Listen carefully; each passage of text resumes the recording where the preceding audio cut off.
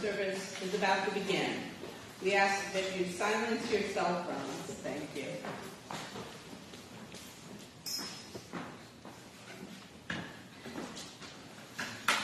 Good morning, everyone, and welcome to the Unitarian Universalist Congregation of the South Jersey Shore, a welcoming and inclusive faith community.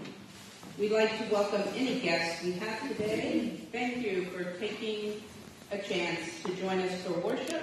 We welcome those watching virtually, and we welcome your comments online. My name is Karen York, and I am your worship associate this morning. Uh, I am a member of this congregation and currently serve as an assistant in religious education, a member of the Committee on Ministry, member of the Finance Committee, and Stewardship Chair. Our worship service uh, today is led by Jessica Dunn Safonof. Jess has been a member of UUC SJS for 10 years and has served our congregation in many ways, including as a religious education volunteer, religious education chair, and as um, secretary of the board. She worked as a mental health case, case manager and behavioral behavior analyst in children's residential treatment and mental health care facilities before leaving that field to homeschool her children. She's been the Director of Religious Education at UUCSJS since 2018. Video of today's service is being live streamed on our Facebook page and will be available there as well as on our YouTube channel later today. If you care to tweet today's during today's service, you can use the hashtag UUCSJS. Welcome to worship.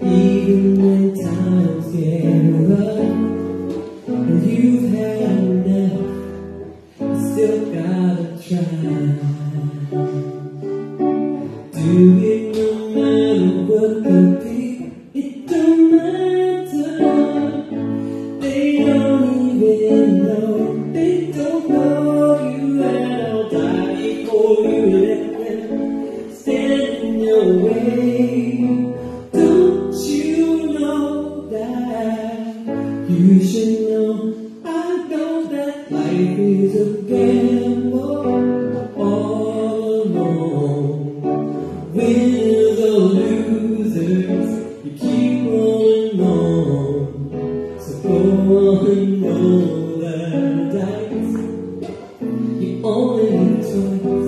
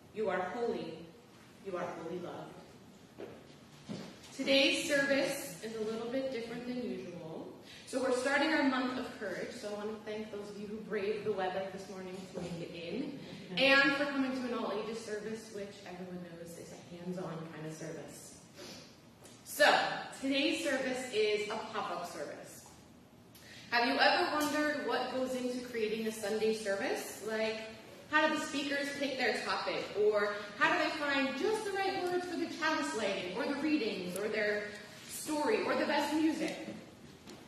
Well, if you're gathered here with us in the sanctuary today, you're going to find out just how that happens because you are going to craft today's service. Spread out around the sanctuary are four different stations, each with the content needed to create a worship element. There's a station for chalice lighting words, prayers, and meditations. There's a station for readings and reflections. There's a station for time for all ages and the main message and there's a station for music. Now, at each, at each station, there are specific directions for you to follow. Um, but basically, what you're going to do is read over the selections that are there with your group and choose the one that the one that you like the best, and that's what's going to go into the service today. So, for example, if you're at the chalice lighting, prayer, and meditation group, uh, you'll choose the chalice lighting, and then you'll choose a person from your group to read the chalice lighting. Um, I'll be around to answer any questions while you're figuring things out. Um, so before we do anything, think of which group you'd like to be in, which station sort of calls to you. Um, and think of a second choice because we kind of want to make the stations even. Uh, you'll have 10 minutes to make your selections, and when your group is finished, you'll return to your seats. If you're tasked with sharing the selection for your group, make sure you bring those materials with you when you sit down. If you're joining us online today, it's the perfect time to have a snack and come back and the service will be all prepared for you. so, let's move to our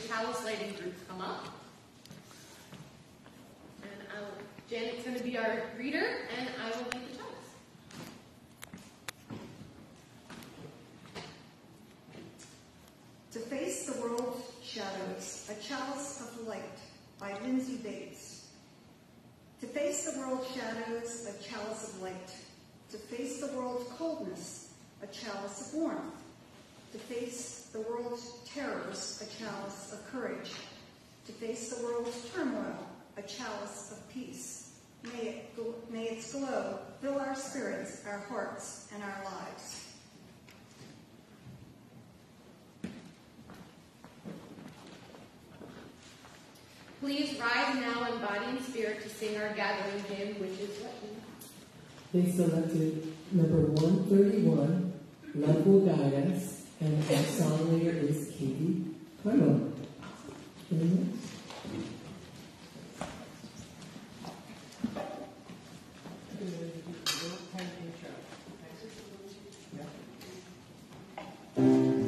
We're going to do one, two, and three.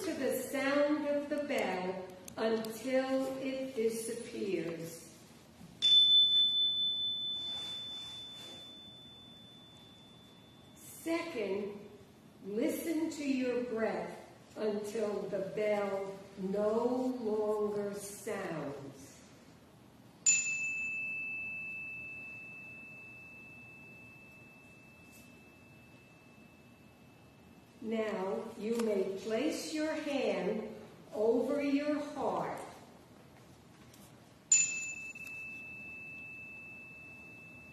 Did you hear or feel your heart? Today we are going to explore wholehearted courage. The theme this month is courage. The heart stands for courage to follow your heart. You know what is in your heart. There is a voice inside of you which speaks to you about what is important. Wholehearted courage means living with the courage to be your true self.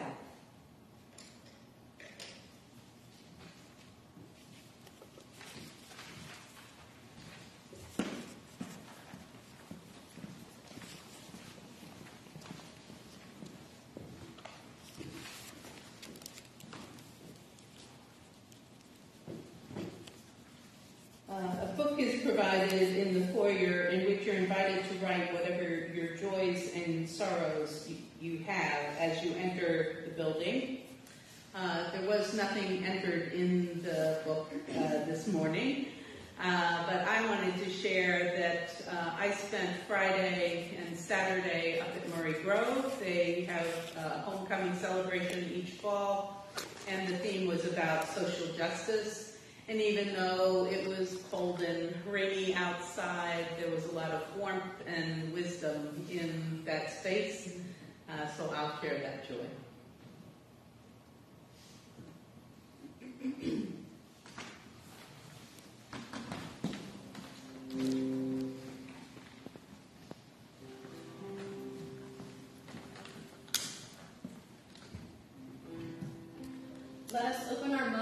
hearts to the place of quiet, to the silent prayer for the healing of pain and the soft, gentle coming of love.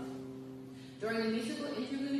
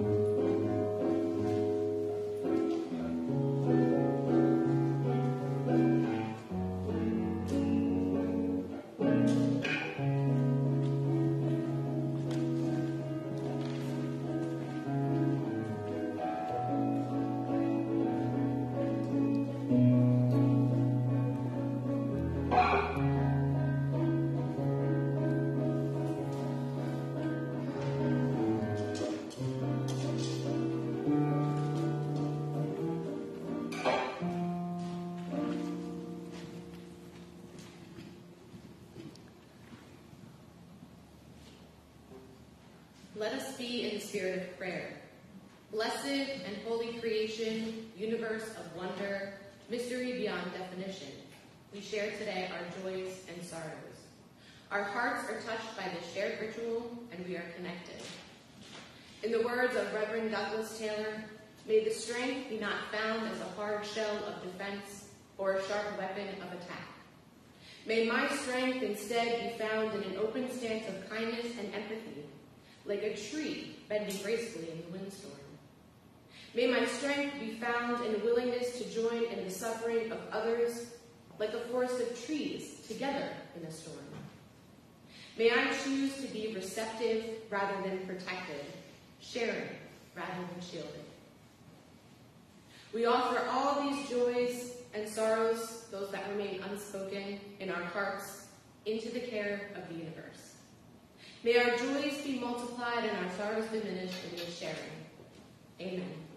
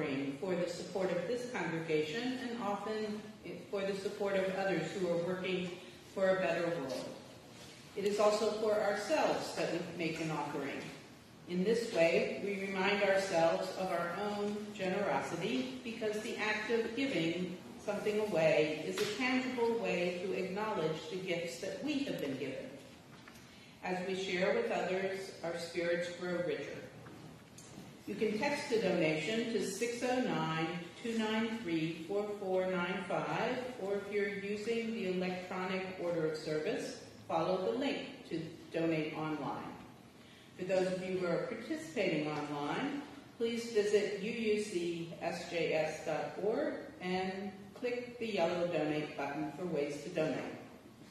Our offering says that the act of giving is as essential to our spiritual well-being as anything else we do here on Sunday mornings.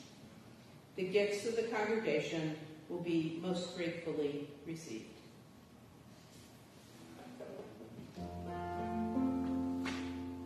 It's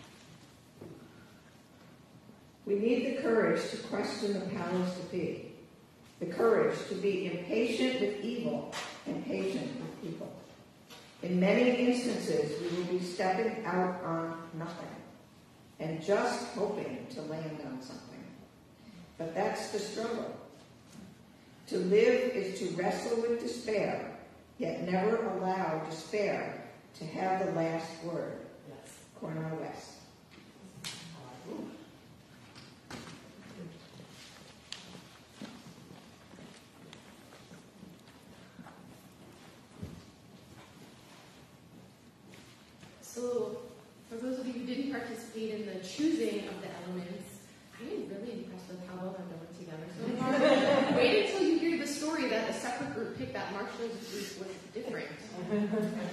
Today's story is called Amrita's Tale, and it's adapted from uh, the Barefoot Book of Earth Tales by Dawn Casey and Anne Wilson. Amrita leaned back against her favorite tree and rested. After the glare of the desert sun, it was cool and green in the forest grove. Sometimes Amrita climbed her tree. Sometimes the wind swayed her, and she was a forest queen. Sometimes she talked to her tree, sharing her daydreams and her secrets. But today, today was so peaceful that she sat in silence. Amrita closed her eyes and sighed with pleasure. Caw! She heard an unearthly shriek, the shrill alarm of the peacock echoing through the forest. A shiver ran down Amrita's spine, and she scrambled to her feet. With a flick of their tails, the gazelles were gone. The rabbits scattered. Now Amrita heard the tramp of many heavy boots, the crack of branches snapping. Through the trees, she saw men marching, each one carrying something. Amrita strained to see. Bright edges, sharp flashes, they were carrying axes. Cut down every tree you can, she heard the chief woodcutter say. The Maharaja needs plenty of wood. Amrita drew in her breath. They couldn't cut down the forest. Without those trees, there'd be no food to eat, no leaves to feed the cows, no shelter from the sun. Above her, watching over her, Amrita's own tree stirred in the breeze. I won't let them hurt you, she said out loud. I promise I'll protect you. I don't know how, but I will. Quick as a black buck, she ran to the village. Amrita found her mother. Amma, Amma, she panted, pushing the windswept hair out of her eyes. I saw men in the forest, men with axes. They're going to cut down the trees. Amrita's mother rushed around the village, calling the women away from their work. We must save the trees, she urged. Come on. They arrived to find the woodcutters sharpening their axes. and Amrita's mother greeted the men politely, pressing her hands together and bowing her head. Namaste. We do not want trouble, but we cannot let you cut down these trees. The chief woodcutter cast his eyes over the straggle of women before him and snorted. You do not own these trees. We have orders. Sir, these trees are our life, Amrita's mother implored. Their roots hold the soil together. They keep the land from sliding away during the monsoon rains. Without them, our fields and homes will be washed away. Never mind your mud huts, the chief replied with a sweep of his hand. With this timber, the Maharaja will have the finest palace in all of India. Please, begged Amrita's mother. These roots suck up rain so the earth can give us spring water. Can't you see? We need these to survive. Enough, barked the chief. Now out of my way let me work now. He turned to the woodcutters and ordered, cut down the trees. A burly woodcutter shouldered his axe and strolled over to an ancient tree. With a swift swoop of his iron blade, it bit deep into the bark. With a terrible groan, the mighty tree came crashing to the ground. Amrita's mother covered her mouth with her hands. Amrita stared in disbelief. The woodcutters began to chop at another tree and another. Soon the grove was a graveyard of trees. Broken limbs scattered the floor, leaves dropped like tears. A woodcutter brushed past Amrita toward her special tree. No, no, please don't, she cried, tears springing to her eyes. Please don't cut down my tree. The woodcutter advanced. Amrita stepped in front of him, blocking his path. Her voice shook as she spoke. I will not let anyone harm my tree. The woodcutter laughed. Little girl, there is nothing you can do to stop us. Amrita thought of her beloved tree lying dead on the forest floor, and she ran from the woodcutter toward her tree. Amrita flung her arms around her tree, pressing herself against it. If you want to cut this tree, you'll have to cut me first. The man and his axe were behind her. She could hear the sound of her own breathing, hard and loud and fast. The man raised his sharp blade. Swing your axe, commanded the chief. Amrita clenched her teeth and clung onto her old friend so that the bumpy bark was pressing into her cheek and arms. She felt the strength of the tree coursing through her. And she knew with a fierce, bright certainty that she was doing the right thing. Swing your axe, the chief shouted again. I, uh, mm, the woodcutter faltered. He looked down at the girl, this mere sapling of a girl, her eyes squeezed shut, her thin arms hugging so tight, her tear-stained cheeks pale with fright. I, I cannot. Amrita opened one eye, then another to see the woodcutter's head bow, his axe at his feet. All around her, people were hugging trees. Women and children, wives and daughters, grandmothers and toddlers, all hugged the trees. Some ancient trees had trunks so broad that generations of women were joining hands to embrace them. The axes lay on the forest floor. The men huddled together and talked in low voices. Then, without a word, the laborers picked up their axes and walked out of the wood. Amrita's mother called to her, What were you thinking of? I was so afraid. So was I, said Amrita. Her mother sat down beside her on the forest floor and stroked her hair. You know the woodcutters will tell the Maharaja what happened, she said gently. They will come back. The next morning, the women were distracted at their work. Their hands were busy, but their eyes straight to the horizon. Would the woodcutters return? Would they be punished for defying the Maharaja's orders? That afternoon, a thunder of hooves and a cloud of dust. The Maharaja himself had arrived. The women joined hands and pulled their children close, but Amrita rose to greet the Maharaja with all the dignity of a forest queen. She was surprised to see that he carried not an axe, but a bright bundle. He climbed down from his horse, Amrita watched in wonder as he unwrapped the silken cloth. I present this royal decree to you, Amrita, said the Maharaja, and to the women of your village. In honor of your courage and your wisdom, I promise that from this day on, no tree in this forest will ever be cut down. Hundreds of years later, folk songs of the people who hug the trees still echo through the villages of India. Amrita's courage has inspired people across the land to stand together to protect forests. Thousands of trees have been saved, and a million more planted. And in one sacred grove, Amrita's tree still grows.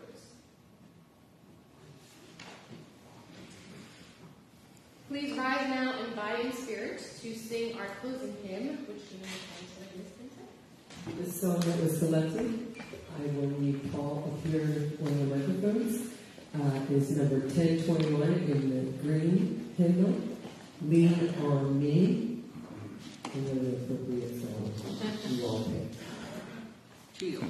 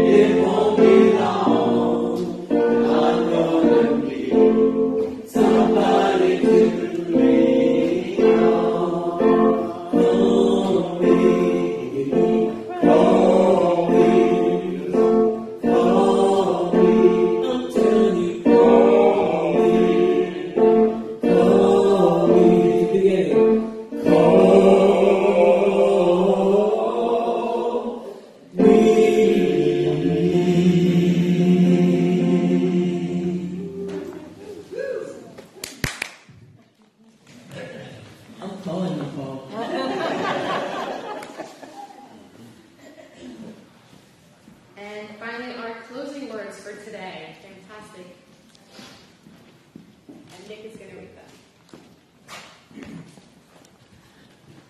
them. Uh, for those of you who don't know me, this is uh, my, my second time here, so Yay! So, yeah, uh, this is uh, only my second time here, so I'm sort of uh, being thrown into the fire. But um, I want to say thank you to everyone that I've met so far who's, who's welcomed me. I've, I've just felt very great. And uh, so the closing words are from Marianne Williamson. Our deepest fear is not that we are inadequate. Our deepest fear is that we are powerful beyond measure. It is our light, not our darkness, that most frightens us. We ask ourselves, who am I to be brilliant, gorgeous, talented, fabulous? Actually, who are you not to be? You are a child of God. Your playing small does not serve this world. There is nothing enlightened about shrinking so that other people won't feel insecure around you. We are all meant to shine as children do. We were born to make manifest the glory of God that is within us. It is not just in some of us, it is in everyone. And as we let our own light shine, we unconsciously give other people permission to do the same. As we are liberated from our own fear, our presence automatically liberates others.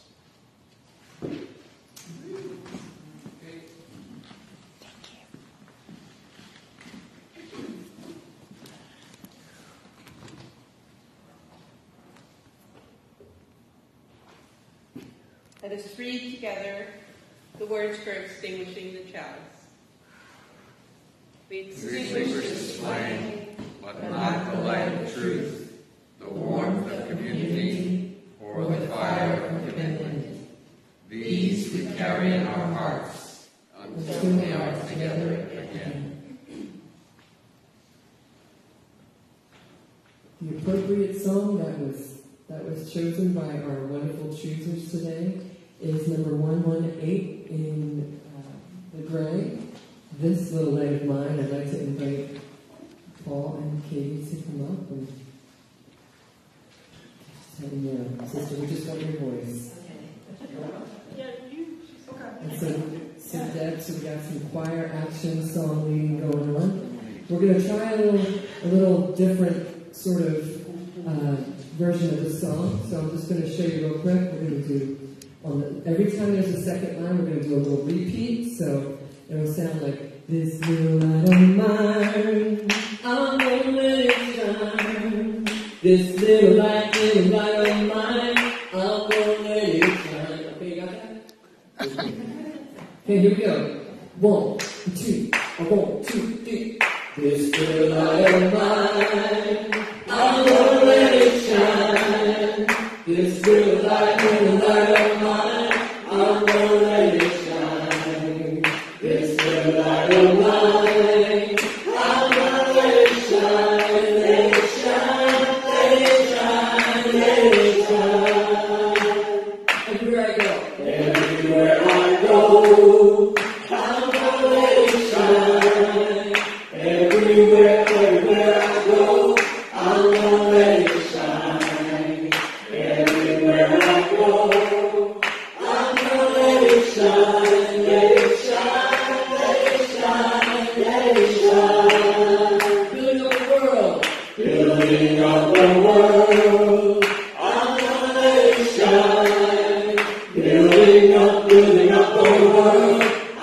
always shine, building up the world.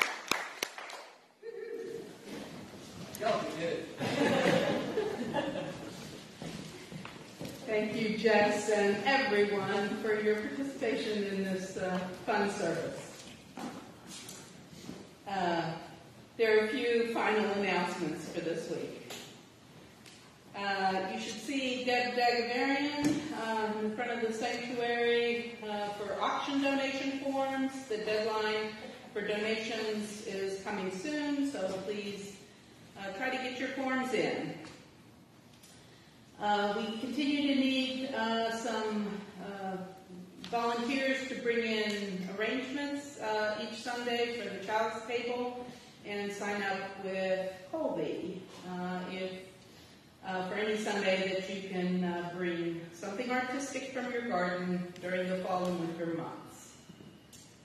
Uh, we are also looking for backup for someone to do the Facebook uh, videotaping each uh, from the service.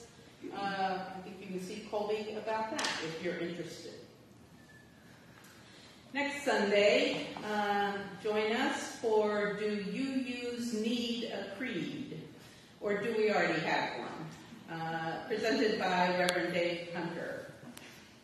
Uh, if a friend or non-UU friend uh, asks you, what do UUs believe in, and you recite to them the seven principles, you do have them memorized, don't you? Uh, are they satisfied, or do they ask you about our beliefs with respect to a more traditional theological topics? Are they satisfied? Are you satisfied to say we you, use, believe, uh, can believe whatever we want? Reverend Dave Hunter and his wife, Reverend Carrie Mueller, are retired for the third time on their last Sunday of June after three and a half years as co-consulting ministers for the UU Fellowship of Pottstown, Pennsylvania. Dave is a graduate of Princeton University, the Harvard Law School, Wesley Theological Seminary, and was an attorney at the Department of Justice in the voting section of the Civil Rights Division from 1975 to 2000. Dave and Carrie were co-ministers of the UU Fellowship of Fayetteville, Arkansas, and co-consulting ministers for Unitarian Universalists of Gettysburg from 2012 to 2017. They live in White Horse Village, a retirement community in suburban Philadelphia. We warmly welcome all of you who are visiting us today to share in a moment uh, silent reflection to consider today's message and the meaning it has in our lives.